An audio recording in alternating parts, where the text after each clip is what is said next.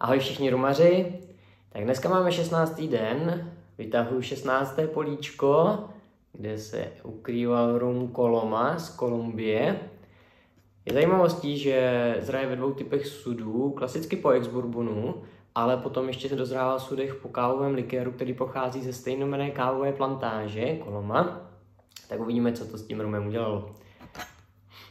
Barva je pěkně zlatavě hnědá, vůně příjemně nasládlá, med, vanilka, koření, chutí vanilka, káva, čokoláda, takové hořké tóny do kávy.